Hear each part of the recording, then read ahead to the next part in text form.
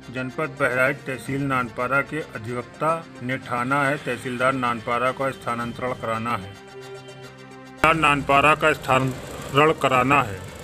नानपारा नगर के सबसे पुरानी तहसील, जिसमें तहसील नानपारा के ऊपर आरोप लगाया जा रहा है, वो भ्रष्टाचारी है और वो अन्य अधिकारियों, उनके सहयोग में है। लगभग 20 दिनों से नानपारा तहसील में अधिवक्ताओं का धरना प्रदर्शन जारी है, किंतु अभी तक किसी प्रकार की कोई आश्वासन व कोई समस्या का समाधान नहीं हुआ है। नानपारा तहसील के अध्यक्ष निरंकार प्रसाद जायसवाल जी ने बताया है कि तहसीलदार एक भ्रष्टाचारी कर्मचारी है जो कि कृषक को भी नहीं छोड़ते हैं सभी से को निचोड़ने का कार्य कर रहे हैं।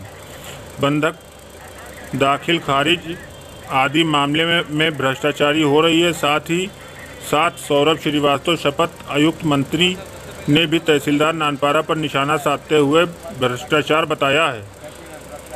महामंत्री सचिव प्रेम कुमार त्रिपाठी और उनके अन्य साथी वीरेंद्र सिंह डीपी श्रीवास्तव वंश गोपाल जायसवाल मुबीन अहमद रमेश कुमार सोनी नरेश चतुर्भुज श्रीवास्तव अधिवक्ता गढ़ तहसीलदार नानपारा के भ्रष्टाचारी बताते हुए मुर्दाबाद के नारे लगाए और तहसील नानपारा का स्थानांतरण होने होना चाहिए। जब तक इसका स्थानांतरण नहीं होता करेगा। तब तक हम लोग अपना का, कार्यकाल नहीं करेंगे और विरोध प्रदर्शन करते रहेंगे।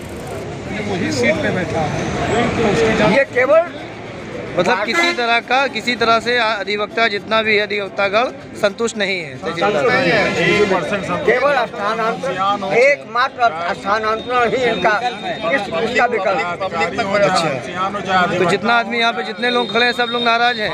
ठीक है एक बार हाथ उठा तक के दीजिए इसका हस्तांतरण नहीं होगा तब तक के धरना पे हम लोग बैठे रहेंगे। ठीक ठीक ठीक ठीक है।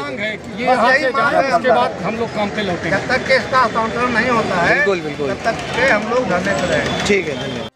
धमकी हुए हैं। जी। लेकिन प्रशासन को पूरी सूचना है। जी। यहाँ तक मुख्यमंत्री जी को भी फ़ाइल कर दिया गया रजिस्ट्री की गई है के बावजूद कोई कानून जू नहीं रेंगता है। अच्छा। और जब तक ये भ्रष्ट तहसीलदार यहाँ पे जाएगा नहीं जी। हम लोग अपने स्थान पर डटे रहेंगे। और जैसा कि आज यहाँ पे जो है एटीएम साहब भी आए हैं।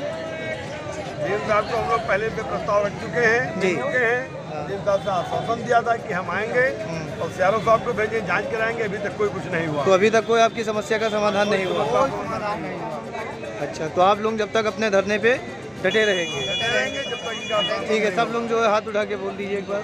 सब लोग सहयोग में है ना? पूरा सहयोग में हैं हम लोग। हाँ